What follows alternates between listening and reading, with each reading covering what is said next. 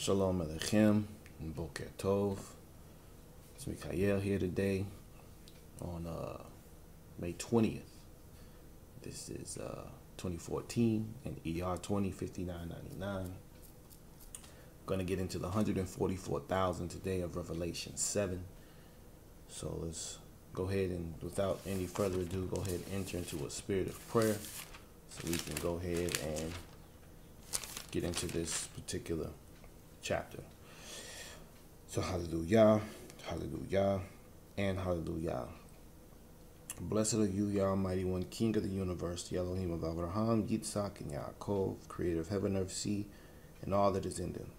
Abiyah, we give you thanks for allowing us to once again be blessed to come back into the land of the living and to receive your breath of life, for causing us to lie down in peace as well as to rise up in peace, Heavenly Father for moving sleep from our eyes and slumber from our eyelids. We give you praise and ask that you pardon us, Heavenly Father, for any sin that we have committed against you, that you cause us to stand before you naked and unashamed, and that you also open our eyes to the wonders of your Torah so we may enter into your word, Heavenly Father, and uh, provide us with understanding.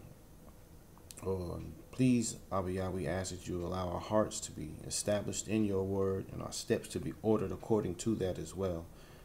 We ask for insight. We ask for revelation.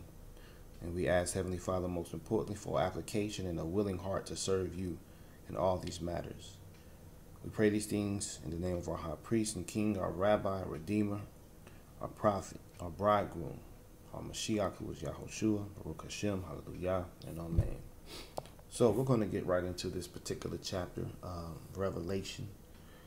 We have here a matter of numbers. We're going to look at some numbers and the symbolism of the numbers. There's a lot of uh, figurative language and flowery language in this matter uh, that we've read even up into this chapter uh, that we have to understand. And again, this is a, it is a twofold genre book. It is a an apocalyptic genre as well as a prophetic genre. So to understand this book again, we have to understand it through the literary devices that are used in apocalyptic language as well as in uh, prophetic vision. Okay, so this is a matter that we had talked about before. Yachanan is seeing a lot of these matters in spirit. Okay, he was he came to be in the spirit on that day. It says, and uh, it's the same language Ezekiel uses, the same language Isaiah uses same language Zechariah uses, same language Daniel uses. So we have to look at it through this particular matter to understand it in further detail. But this chapter in Revelation 7, it has with it 17 verses, so we're going to break it down in half. Uh, we're going to read the first uh, eight verses, and then we're going to come back and read the latter nine verses. It reads as follows. And after this I saw four messengers standing at the four corners of the earth, holding the four winds of the earth, that the wind should not blow on the earth, nor on the sea, nor on any tree. And I saw another messenger coming up from the rising of the sun, holding the seal of the living Elohim. And he cried with a loud voice to the four messengers to whom it was given to harm the earth and the sea, saying, Do not harm the earth, nor the sea, nor the trees, until we have sealed the servants of our Elohim upon their foreheads. And I heard the number of those who were sealed 144,000, sealed out of all the tribes of the children of Israel. Of the tribe of Yehuda, 12,000 were sealed. Of the tribe of Reuben, 12,000 were sealed. Of the tribe of Gad, 12,000 were sealed. Of the tribe of Asher, 12,000 were sealed. Of the tribe of Naphtali, 12,000 were sealed of the tribe of Menashe. 12,000 were sealed of the tribe of Shimon. 12,000 were sealed of the tribe of Levi. 12,000 were sealed of the tribe of Yisachar. 12,000 were sealed of the tribe of Zebulun. 12,000 were sealed of the tribe of Yosef. 12,000 were sealed of the tribe of Benjamin. 12,000 were sealed. Selah. So, we're going to start and looking at these four messengers. Okay, these four messengers are very important, and uh, they are symbolic of the archangels of heaven. Uh, what we want to do in uh, looking at this initially, we want to look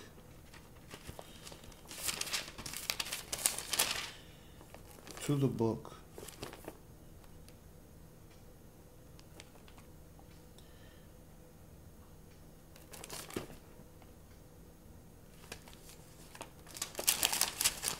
I have a couple of places that I'm looking at.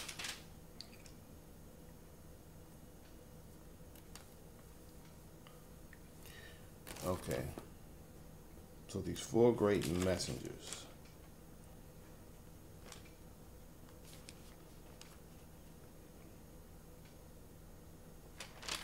That we're going to look at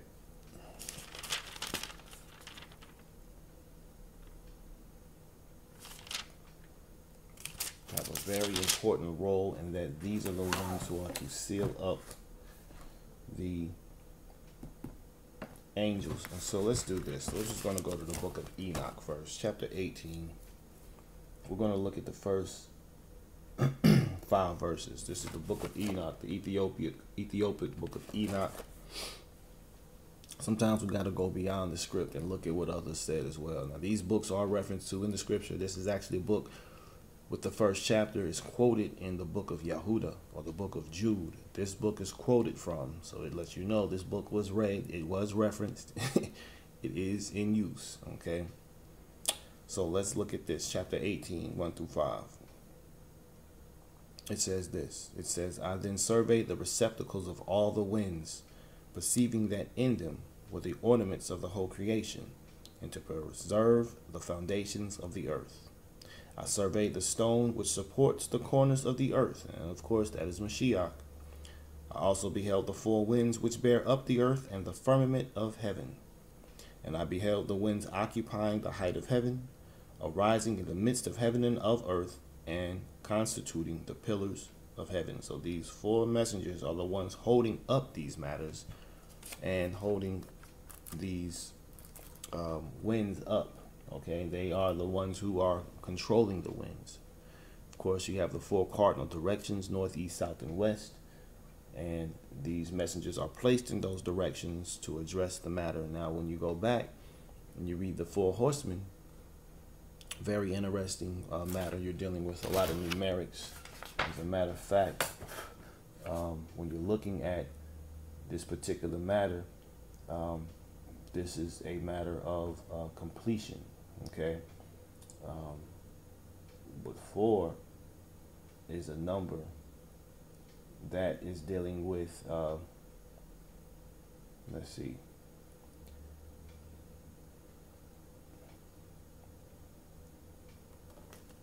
I believe it deals with uh, justice and righteousness. And so this is being established, and I will confirm that um, shortly and, and make a, a note um, here it is. It's a divine number um, of four. Um,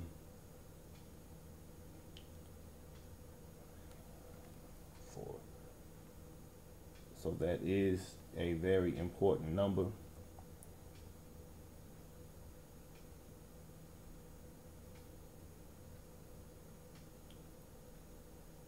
So I'm going to read this real quick. It says apocalyptic texts regarded numbers as based in heaven. Um, these were uh, intrinsically linked to the Father's own perfection. Enoch's tours of the cosmos revealed four very different regions of heavenly activity. And Ezekiel beheld four living creatures surrounding the Father's throne. While many texts presume four principal archangels and seven or twelve heavens the periodizations of history that some apocalypses offer to explain the alteration of fortune and misfortune in Israelite experience usually unrolled according to some perfect number 490, which is 7 times 70, or 14, 12 plus 1 plus 1. But by the second century, some believers envisioned their four most popular gospels as expressing the perfection of the divine number 4, even connecting them to Ezekiel's four living creatures. So Revelation is especially interested in the unfolding potentiality of the number seven as the Father's heavenly number. Now we're not going to really get into that, but we're going to see this chapter unfold. But these numbers have a very significant matter. Okay, so when we look at that, we also want to look at Ezekiel 37. Uh, so we just read about these four winds, which are establishing and constituting the, the holding up of the firmament of earth and heaven. Okay, we're going to go to Ezekiel 37 right now. And we're going to look at the first 10 verses of Ezekiel, which reads as follows.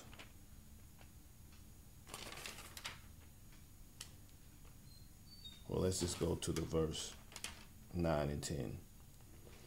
This is regarding the, the, the dry bones in the valley. He said to me, Prophesy to the Spirit, Son of Man. Prophesy, and you shall say to the Spirit, Thus said the Master Yah, Come from the four winds, O Spirit, and breathe on these killed ones, so that they live. And I prophesied as he commanded me, and the Spirit came into them, and they stood, live, and they lived and stood upon their feet, a very great army. And this will come back again. We will come back to that. Let's also look at Daniel 7. We're going to look at Daniel 7, verses 1 through 3, which reads as follows. It says, In the first year of Belshazzar, sovereign of Babel, Daniel had a dream and visions of his head on his bed. So again, this is a vision in his head, not a literal sight that he saw. Then he wrote down the dream, giving a summary of the matters. Daniel spoke and said, I was looking in my vision by night and saw the four winds of the heavens stirring up the great sea. And four beasts came up from the sea, different from one another. So these four winds have a very uh, interesting um, role in that they are usually pregnant with some type of force that will ensue after them, either some force of order or some force of chaos. Right now, we're looking at a preservation in order to bring forth a chaos, a judgment rather. Okay, and uh, we're going to go to the root of that after a couple of verses as well. Now let's go to Zechariah 2. We're going to look at verses 1 through 7, which reads as follows I lifted up my eyes and looked and saw a man with a measuring line in his hand. And he said, and I said, Where are you going? And he said to me to measure Jerusalem to see what is its width and what is its length. And see, the messenger who was speaking to me was going out, and another messenger was coming out to meet him. So, you know, you're seeing these messengers again. and he said to me, Run, speak to this young man, saying, Jerusalem is to remain unwalled because of the many men and livestock in it. For I myself am to her, declares Yah, a wall of fire all around, and for esteem I am in her midst. And we'll get to that too. Oh, oh, and flee from the land of the north, declares Yah. For I have scattered you like the four winds of the heavens, declares Yah. O Zion, escape you who dwell with the daughter of Babel. So here we have these four winds mentioned as a scattering, but now it is telling us to escape. It is telling the children of Israel to escape to escape from the land of Babel. Okay. Because what is coming to it? These four winds have been stirred up and now they're coming to bring this judgment, this wrath upon the four corners of the earth and to escape from the judgments that are to come. Okay, now we're going to look at Matthew 24 and we're going to look at verses 27 through 30. It reads as follows For as the lightning comes from east and shines to the west, so also shall the coming of the Son of Adam be. For wherever the dead body is, there the vultures shall be gathered together.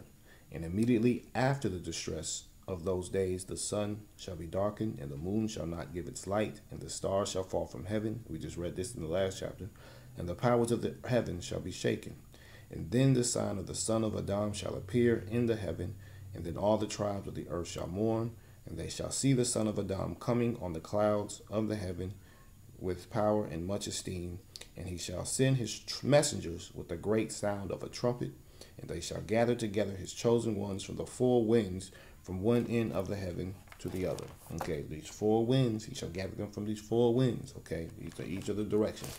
But we have to understand this wind first finds its appearance in Genesis 1 when you look at chapter 1, verse 2, it says, And the earth came to be formless and empty, and darkness was on the face of the deep, and the spirit of Elohim was moving on the face of the earth. That word wind is akin to the word ruach, spirit. So these four spirits, you can call them, is very akin to the four to the spirit of Elohim moving over the face of the waters, which is the impregnating force to give birth to some sort of reality. That was the initial sign that something was about to catalyze and to come into shape. Okay, so now this is the same thing. These messengers are at the four corners of the earth holding back these four winds. Okay, to not blow on anything until his servants are sealed. Okay, so we look at verse 2 and you see these messengers, another messenger coming, a fifth messenger coming from the east. Okay, coming from the east, holding the seal of the living Elohim. Well, here's the question What's the seal of the living Elohim? If you look up the word seal and what it means in the dictionary, you will find, as it relates to a king, and we talked about this in one of the lessons, the mark of the beast, that it deals with his name, it deals with his authority, and it deals with his jurisdiction, okay? His identity, his authority as far as how he came to power, what is his reason for ruling, and then what his jurisdiction is. Well, the Father's seal is no different because he has something that identifies him and it also demonstrates his authority and it shows what his jurisdiction is. And we're going to look at that in the 20th chapter of Exodus. I'm going to read the 8th through the 11th verse, and it reads as follows It says, Remember the Sabbath day. This is the seventh day Sabbath, from sundown of the sixth day, which is known in the Gregorian calendar as Friday, to sundown of the seventh day, which in the Gregorian calendar is called Saturday. Remember the Sabbath day to set it apart. Six days you labor and shall do all your work, but the seventh day is a Sabbath of Yah your Elohim. You do not do any work, you, nor your son, nor your daughter, nor your male servant, nor your female servant, nor your cattle, nor your stranger who is within your gates. For in six days, Yahweh, Yahuwah, Yah, Yad Hewahe, that is his identity, okay? He made his authority, he is the creator. He made, what is his jurisdiction? He made the heavens, the earth, the sea, and all that is in them. So he's sovereign over all those realities. And he rested the seventh day. Therefore, Yah blessed the Sabbath day and set it apart. So, what are you saying? I'm saying this is the seal of the living Elohim, his Sabbath. Okay? Observing his word will cause you to be sealed. Okay? And we're going to look at this in another light. We're going to go to Ezekiel 20 and we're going to see how this relates to what Ezekiel says. Ezekiel 20, we're going to start at verse 11 and go through verse 20. It says, And I gave them my laws and showed them my right rulings, which if a man does, he shall live by them.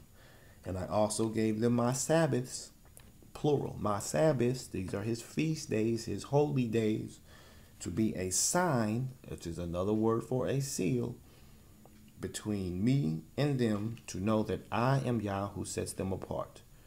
But they, the house of Israel rebelled against me in the wilderness. They did not walk in my laws, and they rejected my right rulings, which if a man does, he shall live by them.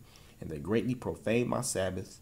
Then I said I would pour out my wrath on them in the wilderness to consume them. So when you see that they are not keeping, Israel has not kept their Sabbaths, that's when the wrath burned against them. Okay.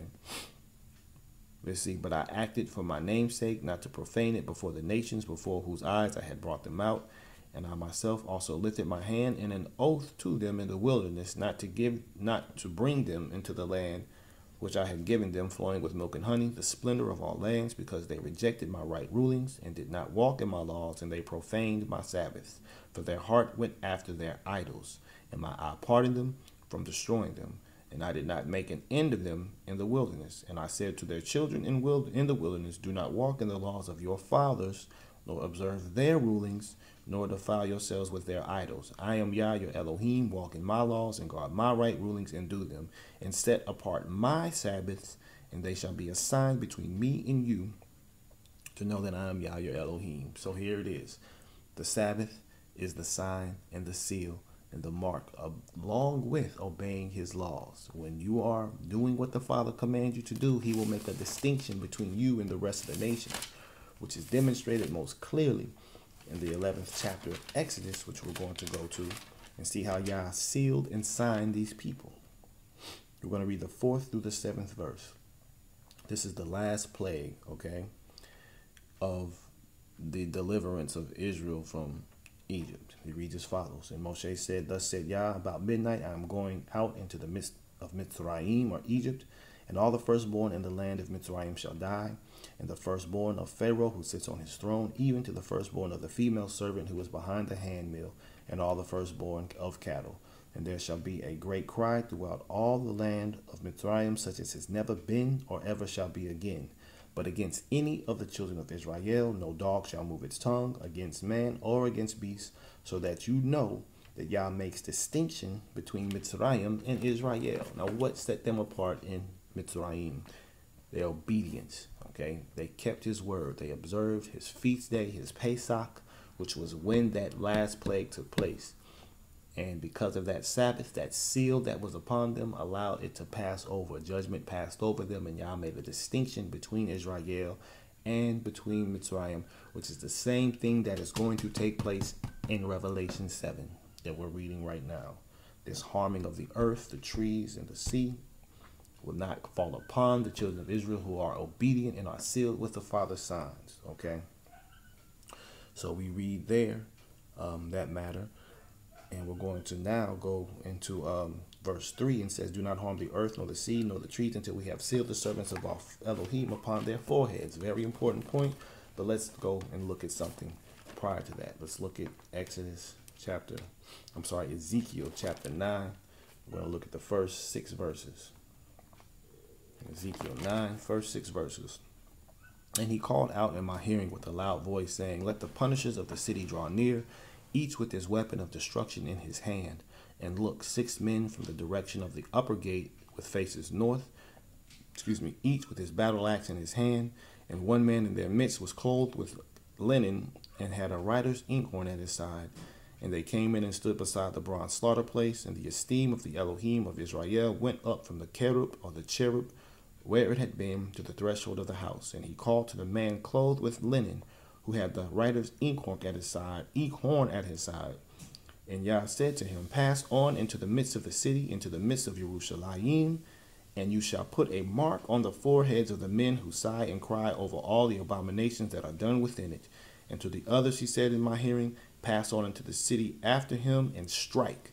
Do not let your eye pardon nor spare kill to destruction old, young men, maidens, and children and women, but do not come near anyone upon whom is the mark, and begin at my set apart place.